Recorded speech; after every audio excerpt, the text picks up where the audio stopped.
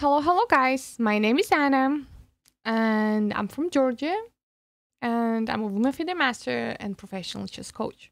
So, in this position, um, in this video, sorry, in this video, we will talk about the Philidor defense, which is like um, really solid, interesting opening, and um, it's kind of old opening, but nowadays it's still popular and a lot of people plays it and um it's interesting opening. Um so first of all, what is the Philidor's defense? It's also open opening, so we talk about open openings, e4, e5, knight f3, uh, d6. This is the Philidor defense. Well, idea of that move is that okay, I'm just I'm just gonna protect my pawn with another pawn. I'll have solid, strong center with my pawns, and I'm okay with that. The small problem of this move, which is sometimes not even the problem, but um, it's it let's say it blocks the bishop, right?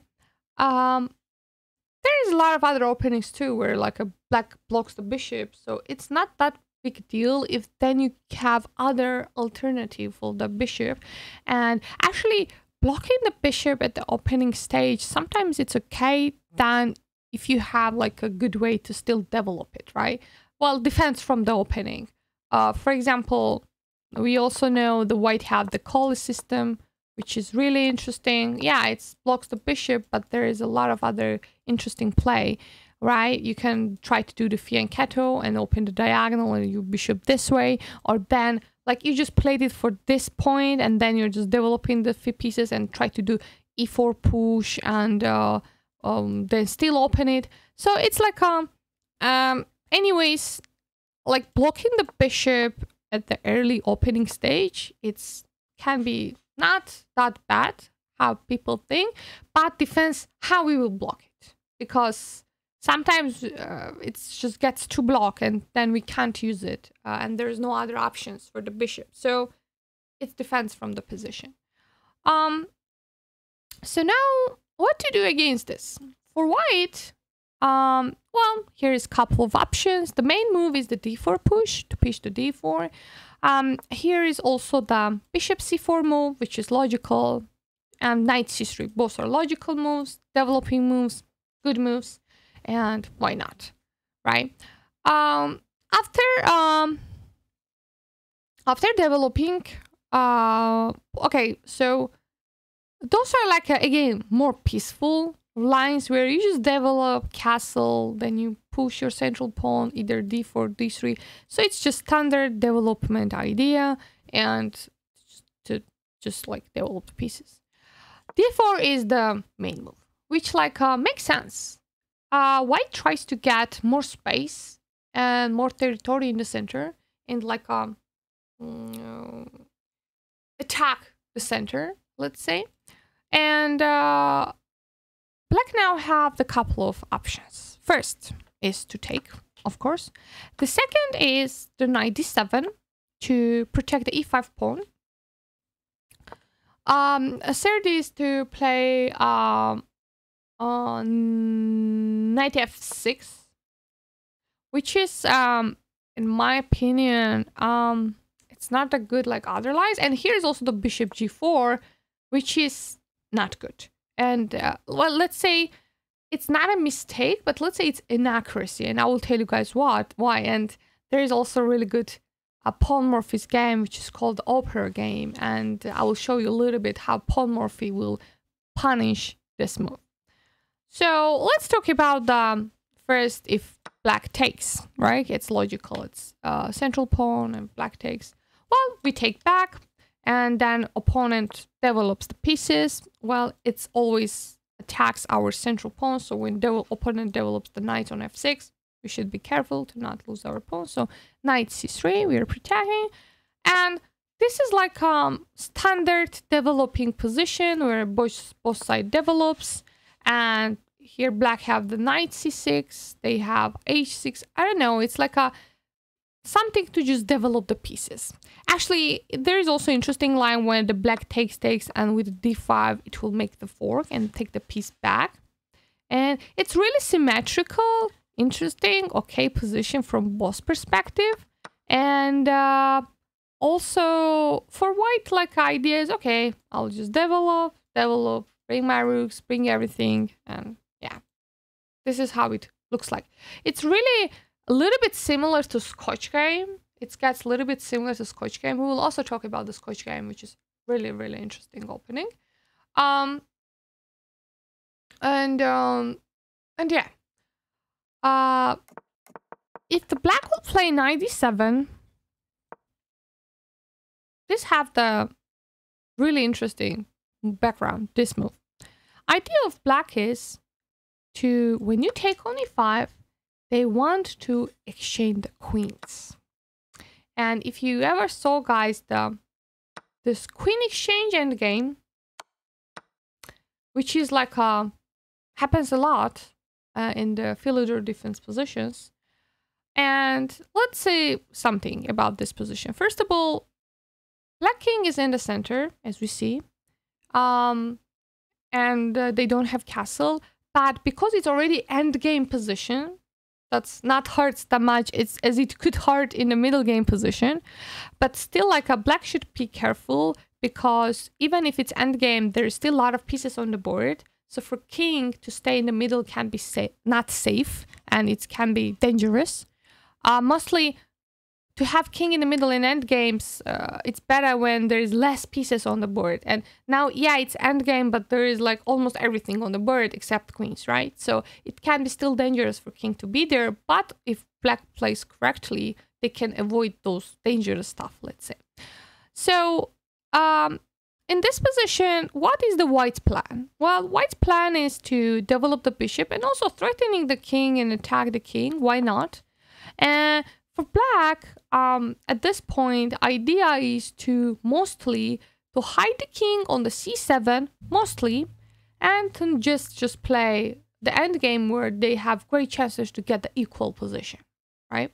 So um, uh, this is how it looks like and the f pawn is hanging black also have f5 move here which is interesting and uh like i really want to like talk about those positions more but again uh, i already said those opening moves and opening courses where i'm recording right now it's not for the like let's say big lines and big positions and to analyze the moves deeper way let's say because it's like a it's just like a instruction what can possibly happen after if this this this this happens right?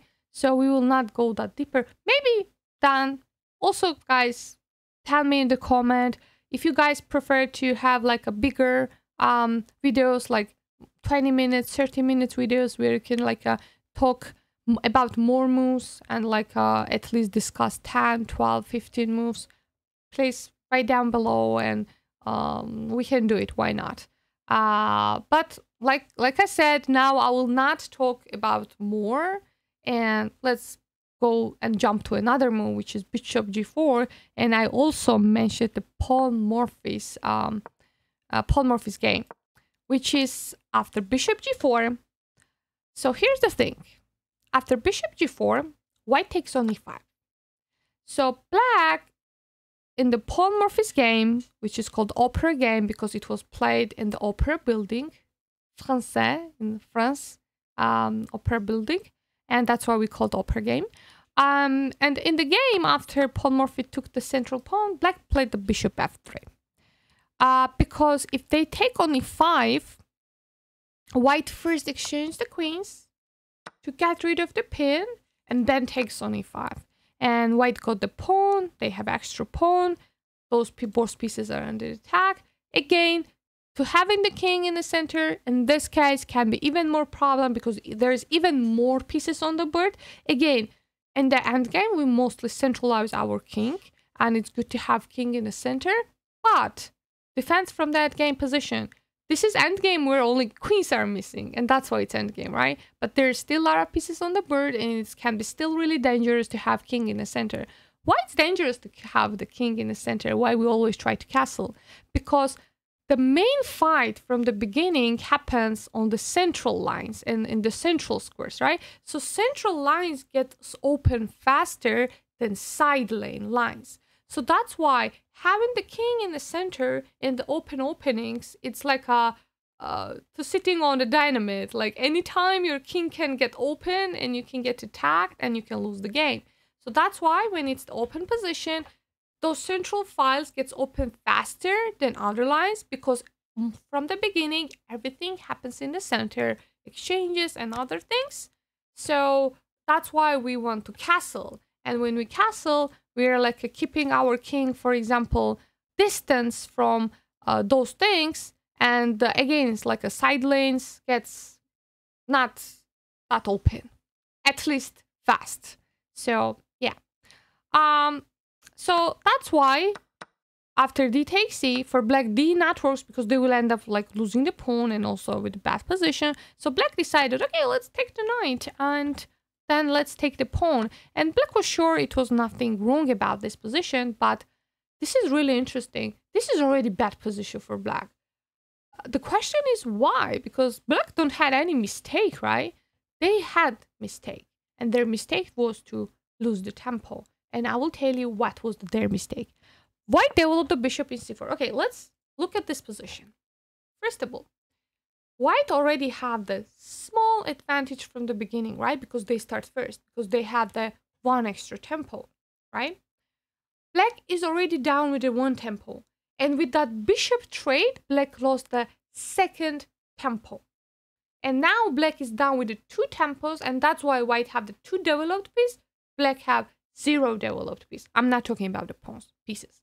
Um, where they lost the tempo? Good question. They did nothing wrong, right?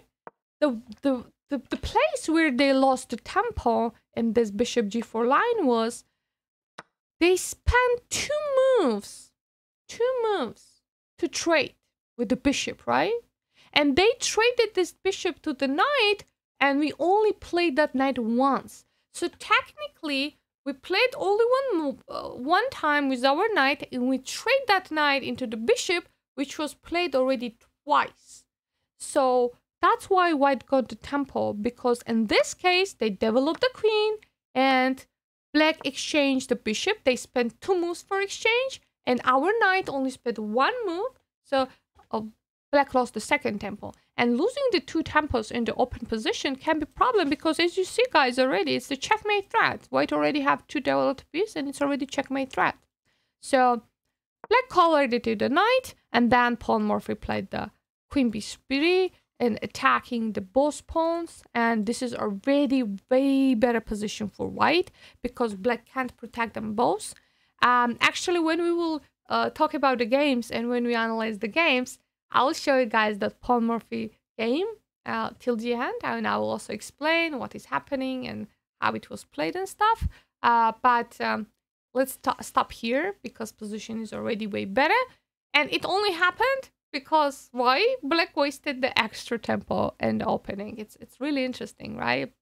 Because technically almost black did nothing wrong, but even losing the time, losing the tempo can be the problem. What is the tempo?